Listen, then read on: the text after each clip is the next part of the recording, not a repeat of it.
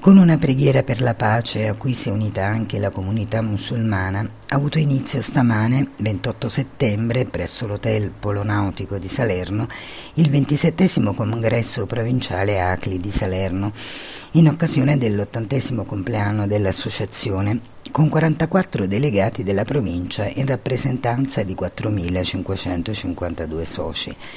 Il tema scelto è il coraggio della pace, un richiamo ai valori che sono la base della fondazione dell'associazione, avvenuta nel 1944 all'indomani della Seconda Guerra Mondiale.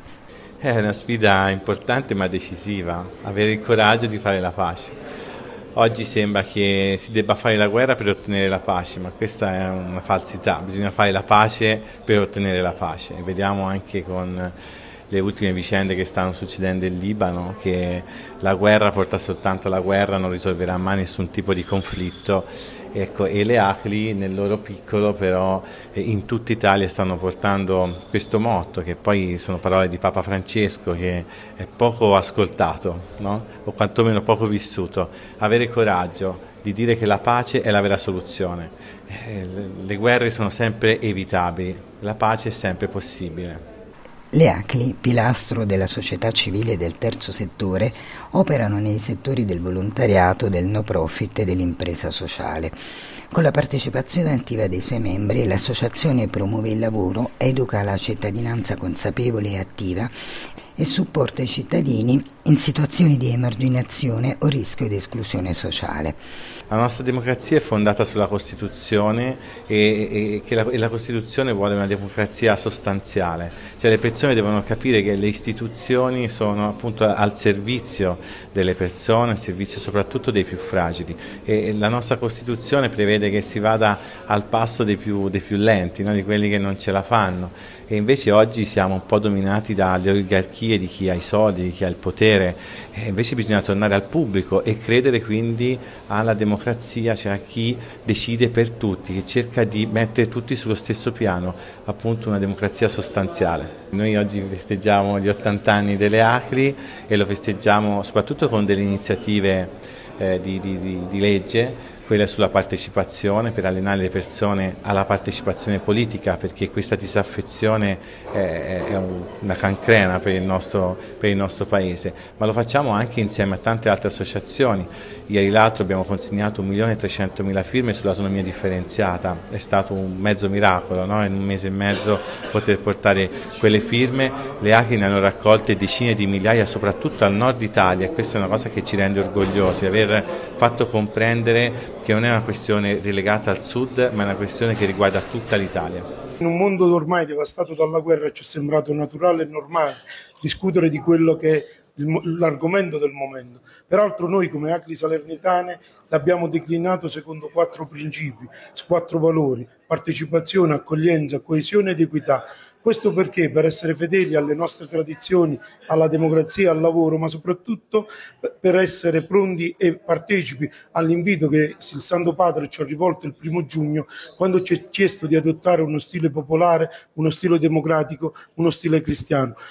I lavori del congresso sono stati arricchiti da interventi di personalità di spicco, tra cui i vertici nazionali e regionali delle ACLI, rappresentanti delle comunità religiose, politici, enti locali, terzo settore, sindacati e mondo accademico. Un appello a tre battaglie che dobbiamo fare insieme, la battaglia contro le povertà e su questo fronte le ACLI sono impegnate ovviamente da sempre potere d'acquisto dei salari e gli stipendi è diminuito del 6%, anche se è cresciuta l'occupazione, ma la condizione delle famiglie rimane pesante, soprattutto al sud.